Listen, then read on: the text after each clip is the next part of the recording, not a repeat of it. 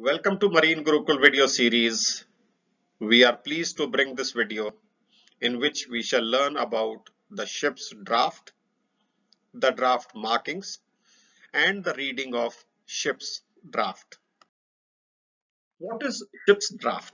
We know a ship floats on the basis of law of flotation which is nothing but a simple corollary of the Archimedes principle wherein the weight of the ship acting downwards is in equilibrium with the force of buoyancy acting upwards. And what is force of buoyancy equal to? It's equal to the weight of the water displaced. And the weight of the water displaced for an intact ship whose underwater hull is intact is equal to the underwater volume of the ship multiplied by the density of the water in which the ship is floating. So therefore, the underwater volume of the ship's hull depends on the ship's displacement. More the displacement, more would be the sinkage. Lesser the displacement, lesser would be the underwater volume. And as the underwater volume of the ship's hull increases or decreases, the depth of the ship's hull below the waterline also keeps changing. The draft is the measure of the depth of ship's hull below the water line or the water surface. As you can see in this diagram, we have the water line shown by this blue uh, water and what do we see? The depth of the ship's hull below the water line is what is called as the draft of the ship. Yes, draft is the depth of the ship's hull below the water line. But is it same at all points of the hull? No. The draft at different points of the ship may be different because of ship's inclination with respect to water surface that is trim, the longitudinal inclination and list the transverse inclination. So if the vessel is inclined with respect to the water surface, that means the keel is not parallel to the water line. The drafts at different points will be different. The draft could also be different in ships because of the rake of the keel or the keel rake. We have learned this term keel rake in one of the earlier videos where the keel instead of being horizontal may be at a certain angle. And if it is so, obviously then even if the deck is parallel to the water line, because of the inclination of the keel, the draft at different points would be then different. How do we get to know the draft?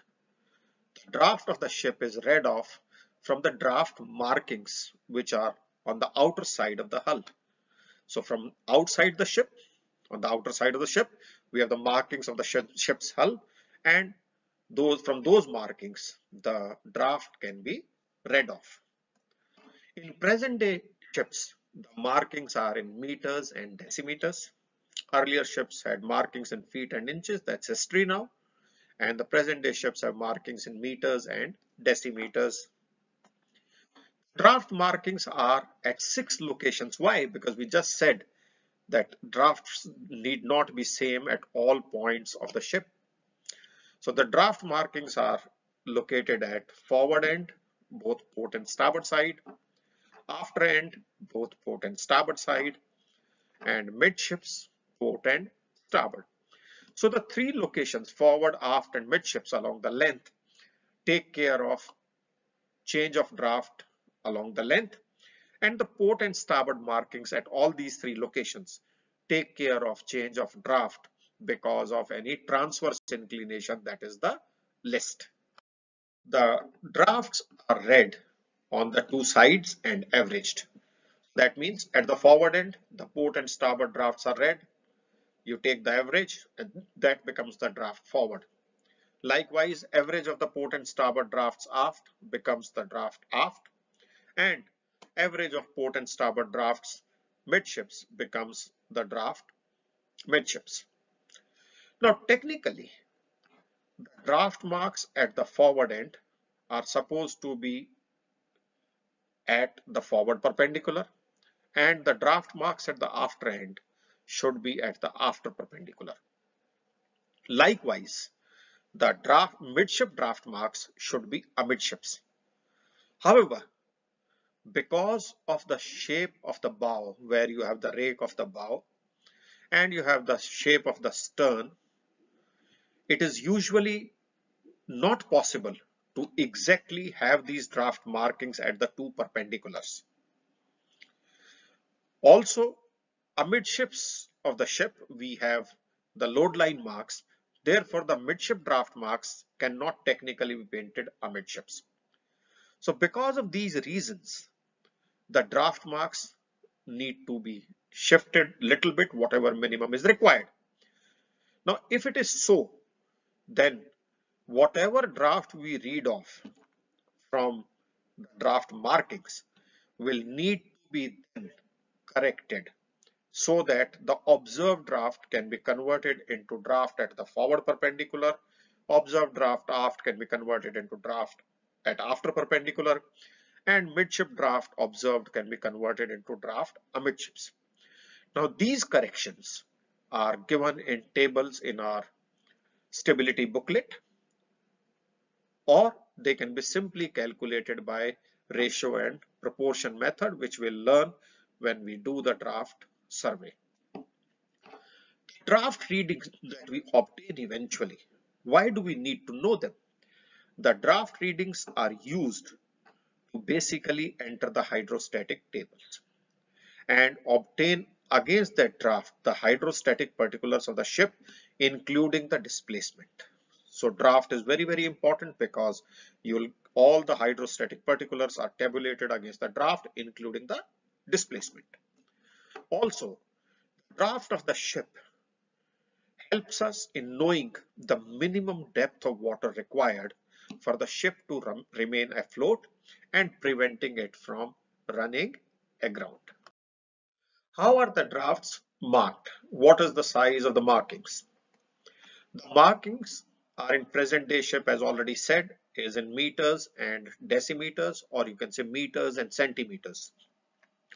The main meter marks are marked in numbers and followed by capital M such as 8m representing 8 meter mark, 9m representing 9 meter mark and 10m representing 10 meter mark. The lower edge of each mark represents its true level. Now each of these mark markings would have a certain height. Now when they have a certain height then which point of these markings represents their true level. So the true level will be represented by the lower edge of each marking Please remember that. Now, as you can see in this diagram coming up here, if here is the water level, if this is the marking, and this represents maybe 8 meters of ship's draft mark, then 8m would be written like this so that lower edge of 8m is representing the 8 meter mark. If we go 1 meter from here, we'll reach 9 meter mark. So this is the 9 meter mark and 9m would be written like here so that the lower edge of 9m represents the 9 meter mark. Obviously as we go below 8 meters we'll have 7, 6, 5 and so on and as we go up these markings will keep increasing. In between the metric marks, metric marks are these 8 meters, 9 meters, 10 meters and these markings. In between the metric marks are the numeral markings such as 2, 4, 6 and 8 which indicate 20 centimeters, 40 centimeters, 60 centimeters and 80 centimeters. The height of each of these markings is 10 centimeters or 1 decimeter and the space between two consecutive marks is also 10 centimeters. What does it mean? The height of this 8m as you can see here, is 10 centimeters then there is a 10 centimeter of gap and now we have the numeral 2 coming in here the lower edge of this representing 8.2 meters why because 10 centimeters plus 10 centimeters so from this lower edge of 8 meters to lower edge of this 2 numeral 2 is 20 centimeters so here the level will become 8.2 again the height of the mark is 10 centimeters with a gap, another gap of 10 centimeters. Then we have 4, height 10 centimeters, gap of 10 centimeters. We have 6. Again, height of 10 centimeters, gap of 10 centimeters. We have numeral 8, which is again 10 centimeters in height and 10 centimeters of gap, taking us to 9 meter mark. And like the 8 meter mark, 9 meter mark is also 10 centimeters in height. I hope uh, it's clear to you. If the water is in line with the lower edge of 8 meter, like here, the draft would be 8 meters.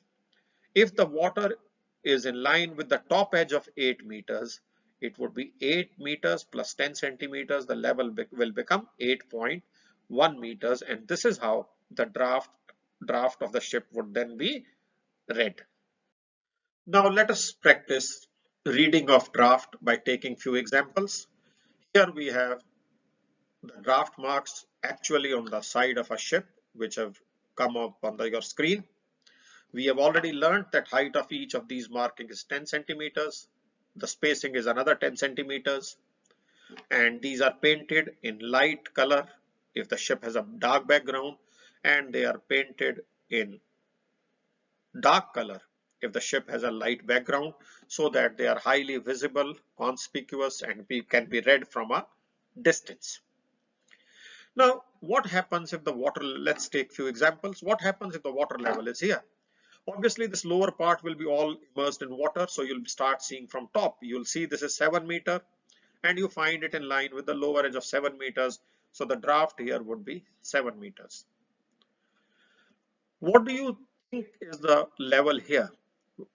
Everything below this water line would be submerged in water. What do you see? You see 2 just at the water line and as you come up you see 7 meters here. So basically if this is 7 meters then this would be 6.2 meters and therefore the draft here is 6.20 meters. You'll basically read it with respect to the numeral which is above the water level because whatever is below the water level would be submerged in the water. What happens if the water level happens to be here? Yes, we'll if we look up, we'll find 8 meters. So that means this would be 7 point something. And here it is 6. And what do we see? It's in top line with 4. So obviously you'll have 8 meters above this. So from there we'll get the reference of the meter. So this mark would become 7.5. 7.50 meters. What happens if the water line is here?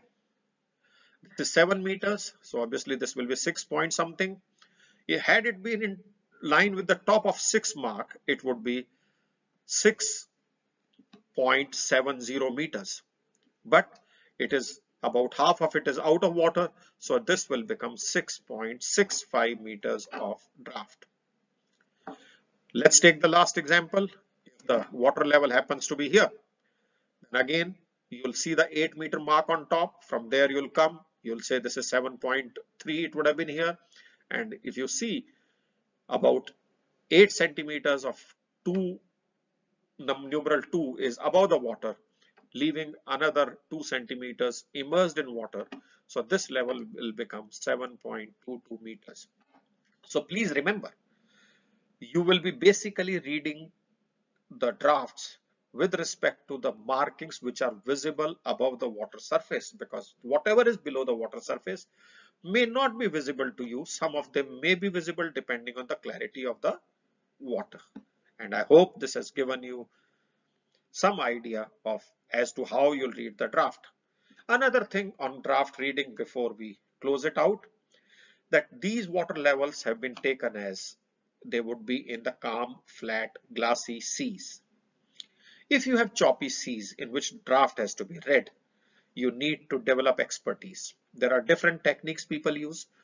If you keep looking at the draft marks, despite the uh, fluctuating level, there would always be a certain temporary calm, momentary calm. In that momentary calm, if you see, you can read the draft marks.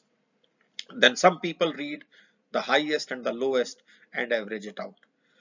As long as your draft reading is effective, you can use whichever way you find yourself comfortable with. But please remember, you need to develop expertise and proficiency of reading the draft not only in calm seas, but also in slight, choppy seas. Thank you for watching the Marine Gurukul video series. If you have any feedback or you need further support, please do write to us on marinegurukul at gmail.com. For future updates, we suggest and recommend that you subscribe to our channel. Thank you very much for watching Marine Gurukul video series.